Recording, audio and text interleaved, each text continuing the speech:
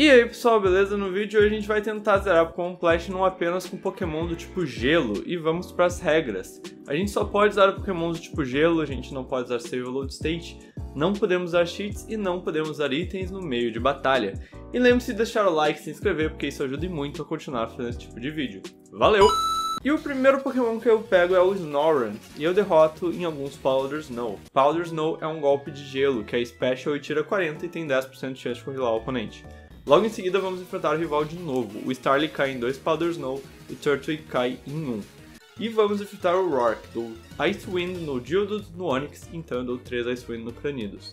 Icewind é um golpe do tipo gelo que tira 55 de poder e reduz a velocidade do oponente. Então vamos enfrentar a comandante Marte. Uso Bat, cai no Icewind, vem a Purugly que eu dou vários Icewind, mas eu não chego nem perto de vencer, isso aí foi triste. Pois não deu. Então a gente chega no nível 20 e aí eu derroto o Zubat, venho por Ugly, eu dou Ice Wind e alguns Headbutt, um deixa flinched e derroto em seguida. E Gardenia, bora lá. Vem o Turtwig que cai no Ice Wind, o Charin cai em dois Ice Wind, vem a Rose Raid e tento derrotar. A poção dela faz ela resistir e acabar me derrotando. Então eu tento revanche no nível 28 e eu aprendi Ice Fang, então eu fico testando o que vai ser melhor. Eu dou Ice Wind e Ice Fang. E Ice Fang é um golpe do tipo gelo, que é físico e tira 65. Ele tem 10% de chance de congelar o oponente e 10% de chance de deixar o oponente flinched. E Fantina, bora lá. O Duskull cai no Crunch, a Miss Medius em 2, e antes ela tinha me deixado confuso e tinha me derrotado, e o Haunter também. E partiu enfrentar o rival. O Staravia cai no Ice Fang, a Ponyta cai em Headbutt e eu posso aprender Ice Shard, que é tipo Quick Attack de gelo. E eu derroto o Grottle em 2 Icewind e o Weasel no Crunch. E chegando no nível 42 a gente evolui para Glalie, e Glalie é o Pokémon cara. E ele é puramente do tipo gelo. E esses são os status do Glalie, ele é médio em tudo, né? Não preciso nem explicar muita coisa aqui. E vamos enfrentar Meilin, e isso pode dar muito errado, porque o lutador é bom contra gelo, mas vamos ver o que que dá. O Meditite cai no Ice Fang, vem uma Show que fica flinched e cai em 2 Ice Fang. Então vem o Lucario do Ice Wind e o problema é ele me deixa paralisado, então me derrota. E eu perdi umas 3 vezes e eu consigo derrotar o Lucario, porque ele fica congelado, e aí eu vi vantagem. Crasher, acorde. O Gyarados leva Ice Wind e 2 Ice Fang. Vem o Quagsire e eu dou 2 Ice Wind nele. Chega o Float seu voo, dando Ice Wind e ele dá Brine. Eita, e como eu já estou em Pastória, eu vou até o cara das Heart Scales e ensino Ice Beam pro Glalie. E Ice Beam é um golpe do tipo gelo special que tira 90 e tem 10% de chance de congelar o oponente. E bom, agora com Ice Beam em mãos, eu basicamente só spamo Ice Beam. O Floatzel ele tem Berry e ele se cura. E, mesmo assim, com a vida vermelha a gente derrota ele. E Cyrus partiu. Chega o Sneasel e eu dou 2 Headbutt. O Golbat cai no Ice Beam e o Murkrow cai no Ice Beam rival é nosso. O Staraptor cai no Ice Beam, o Rapidash cai em 3 Crunch, o Glalie é congelado, o Torterra cai no Ice Beam, veio o Floatzel que cai em 2 Crunch. E eu tive muita sorte nessa batalha. Byron, vamos nessa. O Magneton cai em 2 Ice Beam, o Bastiodon cai em vários Blizzard Ice Beam. O Steelix cai em vários Ice Beam. Então capturamos o nosso próximo Pokémon de gelo, o Snover. Logo em seguida capturamos o Sneasel. E capturamos também um outro Snorlax, só que esse é fêmea. O Snorlax ele tem duas evoluções, o Glalie e a Frostless. Para conseguir a Frostless, precisa de um Snorlax fêmea e Downstone. E pouco tempo depois eu já capturo o Swinub. Então eu entrego a Downstone para Snorlax e ela se torna uma Frostless. E Frostless ele é o Pokémon Terra de Neve. Oi?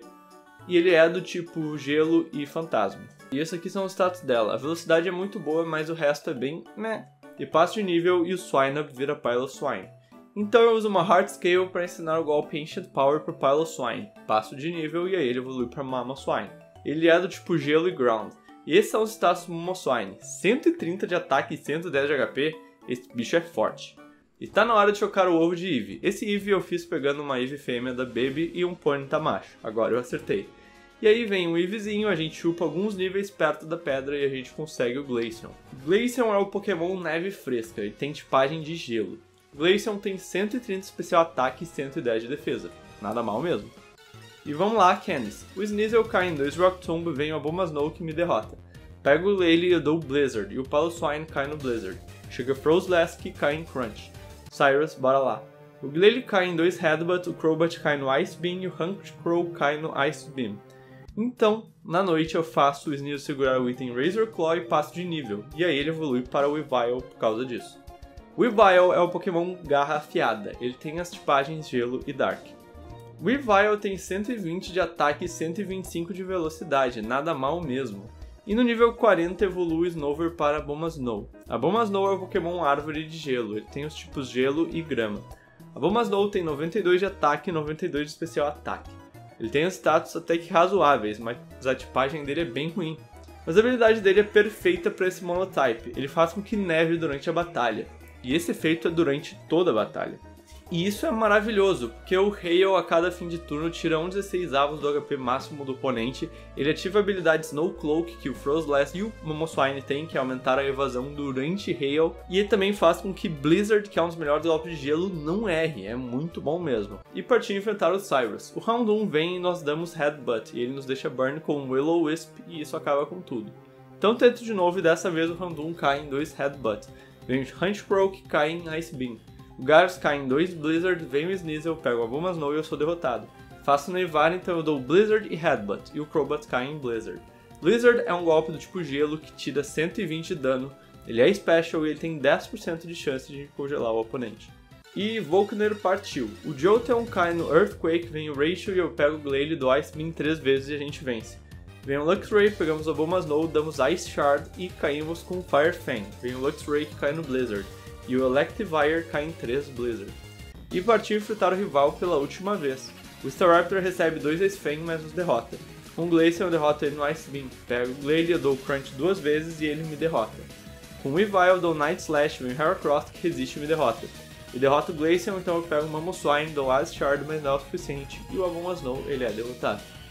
Então a gente vai de revanche, damos Ice Punch no Staraptor e não é o suficiente, a Frostless cai. Mamoswine cai no Fire Blast, pegamos o Glade e damos dois Crunch e derrotamos o Rapidash. O Heracross, cai em 2 Ice Beam. Vem o Floatzel e a gente dá 2 Thunderbolt. O Torterra resiste ao Ice Fang, mas cai no próximo, e eu ensino Blizzard para Buma Snow. Com Glaceon dou Ice Beam 3 vezes no Snorlax, sou derrotado então eu derroto no Ice Beam. Mamoswine está com Earthquake, Stone Edge, Ice Shard e Avalanche. O Snow tem Blizzard, Rock Slide, Ice Shard e Wood Hammer. O Vile tem Night Slash, Ice Punch, Metal Claw Brick Brick. O Glade tem Ice Beam, Headbutt, Blizzard e Crunch. Frostless tem Blizzard, Psychic, Ice Fang e Ominous Wind. E Glaceon tem Ice Beam, Ice Shard, Shadow Ball e Bite. Então, bora! Aaron partiu. O Mega recebe Avalanche, ele pega o Scizor e eu dou Ice Fang Earthquake. Venho em seguida o Heracross, do Earthquake Stone Edge. Vespiquen cai no Stone Edge do, 2 Ice Shard no Yamaga e o Drapion ele dá Aerial Ace e me vence.